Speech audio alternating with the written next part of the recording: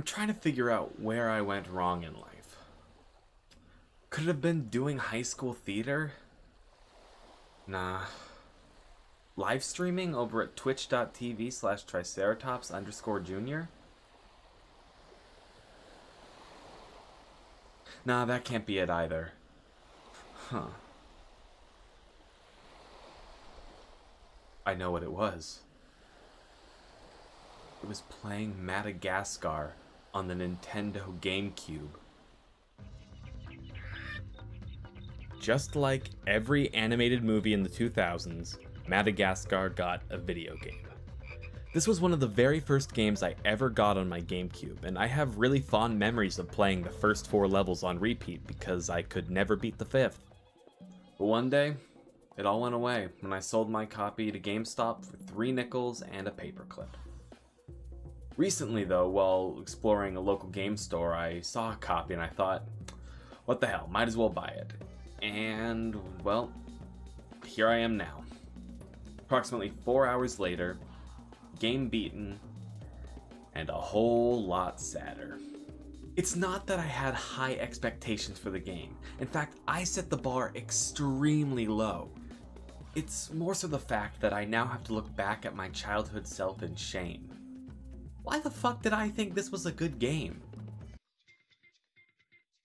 Madagascar the Game is a video game retelling of the first Madagascar film. So, if you know the plot of the movie, you know the plot of the game.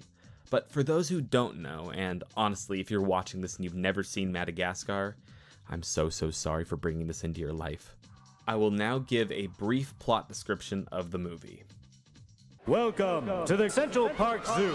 Just smile and wave, boys. Today we're gonna blow this dump. Marty, voiced by Chris Rock, is a zebra at the Central Park Zoo in New York City. On his 10th birthday, he has grown bored with zoo life and wants to get out and see the world. He learns of a plot by the penguins to flee the zoo and decides to follow them. Marty's friends, Alex the lion, voiced by Ben Stiller, Gloria the hippo, voiced by Jada Pinkett Smith, and Melman the giraffe, voiced by David Schwimmer, follow Marty because they are worried about him. They run through the streets of New York, causing panic, and finally catch up to Marty at Grand Central Station. Here, the cops catch them and tranquilize them. The plan is to ship the four animals by sea to a wildlife preserve in Kenya, but things go awry when the penguins hijack the ship and accidentally spill the animals overboard, where they wash up on the island of Madagascar. So that's the premise of the movie. But how does that translate into the game? About as well as you'd probably expect. To get Madagascar the game, take the plot of the movie and then replace all the famous actors with decently famous voice actors doing impressions of the famous actors, and then add a lot of repetitive fetch quests, janky platforming, and a terrible camera. Honestly, that pretty much describes every single game based off of a 2000s animated film. The game is made up of 11 levels representing different parts of the movie. There are also three mini games, but I'm saving the best stuff for last. Since 11 levels is quite a few, I'm not going to describe them all fully. Instead, I'm going to describe each of them in 5 words that perfectly sum up the level. Level 1, King of New York. Tutorial, learn to play game. Level 2, Marty's Escape. Sneaky zebra sneaks from zoo. Level 3, New York Street Chase. Accurate representation of New York.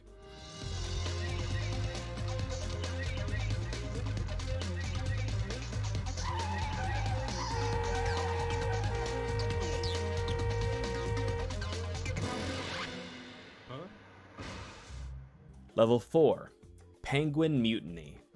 Penguins hijack big ass ship. Level 5 Mysterious Jungle. Lions, spiders, platforming, oh my. Level 6 Save the Lemurs. Bullshit wind tunnels are bullshit. You've saved me! Excelsior!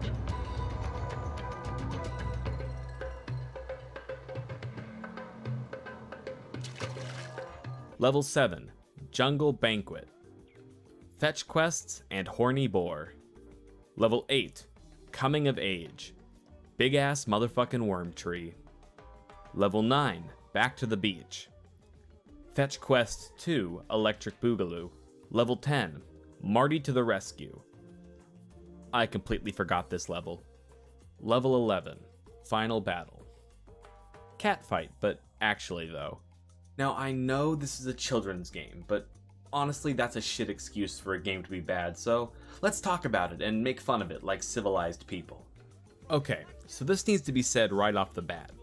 Madagascar is literally, sure, I'll help you, but first you gotta complete this arbitrary unrelated side quest, the game. See? It even says it on the cover. When making a game, the first and most important thing should be nailing your concept. This is a 3D platformer, so why the fuck can't I platform properly?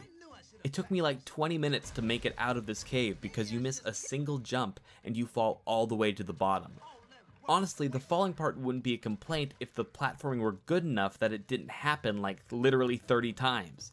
The game's camera turns slower than a slug covered in glue, and there is no way to adjust the sensitivity. So you're stuck waiting for the camera to turn in the proper direction so you can make a single jump, only to have to turn the camera again to make the next jump. It's bullshit. Now, this might sound like nitpicking, and honestly, I don't know this for sure, but I'm fairly certain that a car can't launch a hippo into the stratosphere.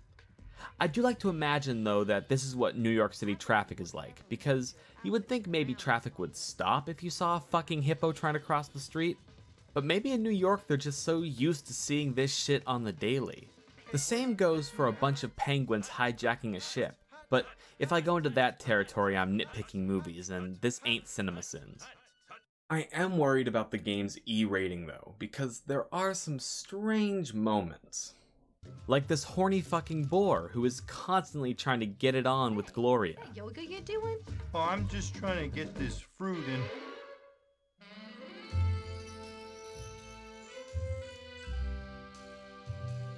Oh, be still, my foolish heart. Or when Mort calls Melman Longneck. Great shot, Longneck. Now find the neck. I'm pretty sure that's a giraffe slur, but I don't know any giraffes personally, so I don't really know who to ask. Oh wait, the game's rated E10 plus? Never mind then, it's all fine. But there are still too many small questions to answer. So I'm gonna look at some bigger ones instead. Before deciding if a game based on an animated film is good or bad, you first need to answer a few questions. Number 1. Does the story lend itself to a video game? In this case, I think not. Madagascar isn't about jumping and collecting fruit and shit. It's about four animals trying to figure out who they are outside of what they were raised to be. That sounds a hell of a lot deeper than it actually is. Number 2. Does the film have enough societal value to warrant a video game? I'm not even going to justify that one with an answer. And number 3. Is the game made to be a game, or is it made to advertise something else? Now, weirdly enough, I actually think the argument could go either way in this case. There's an argument to be made that it's just blatant advertising, but I actually think there are some things that make it a bit more than that. Which leads me to my next talking point the minigames.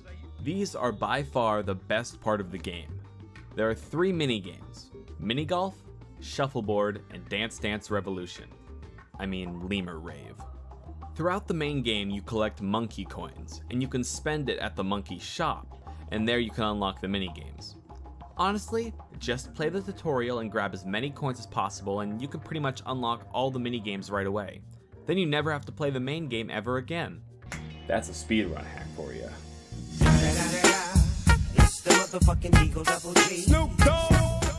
The first game, Mini Golf, is exactly what it sounds like. Fucking mini golf. The only reason I really want to talk about it is so I can play this ear bleeding tutorial for you. Hi, I'm Mort, and when I'm not saving the bacon of those New York giants, I like to tinker on my beautiful tiki golf course. It's the trickiest one on the whole island. In mini golf, you hit a ball into a hole. Um. Yeah. Next game. I never realized that shuffleboard is basically curling, but you can't force your friends to sweep. The best part of this game is watching the animals sit on top of life preservers. The final game, and definitely the weirdest, is Lemur Rave. a Dance Dance Revolution clone game where you just vibe with lemurs. It's that simple.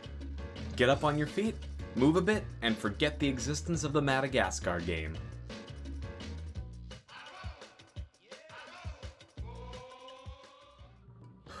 Now that I'm finished with the Madagascar game, I think I can finally relax. I can always be thankful that they never made any more of these games. Wait, what? There are seven more Madagascar games? Madagascar Kartz? Oh god. Send me back to the island. I want a lemur rave.